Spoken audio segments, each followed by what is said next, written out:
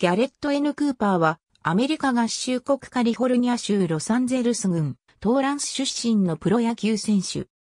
宇藤右打ち。MLB のマイアミマーリンズ所属。2013年の MLB ドラフト6巡目で、ミルウォーキーブルワーズから指名され、プロ入り。契約後、参加のパイオニアリーグのルーキー級、ヘレナブルワーズで、プロデビュー。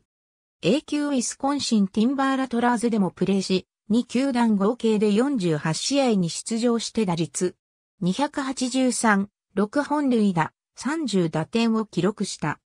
2014年は、ルーキー級アリゾナリーグブルワーズ、A 級ウィスコンシン、A 級ブレバードカウンティ、マナティーズでプレーし、3球団合計で67試合に出場して打率262、4本塁打、27打点、1盗塁を記録した。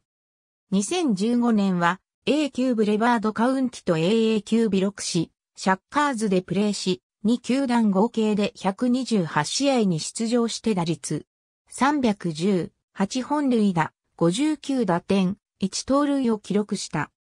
2016年は AA 級ビロクシとトリプル A 級、コロラドスプリングススカイソックスでプレーし、2球団合計で128試合に出場して打率292、9本塁打、69打点、3盗塁を記録した。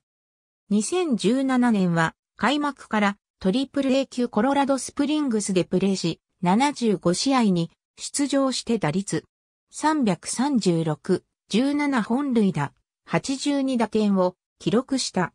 2017年7月13日にタイラー・ウェブとのトレードでニューヨークヤンキースへ移籍した。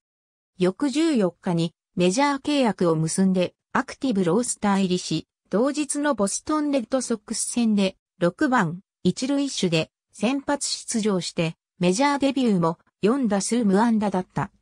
8月25日に前日のデトロイトタイガース戦での乱闘の件で罰金処分が課せられた。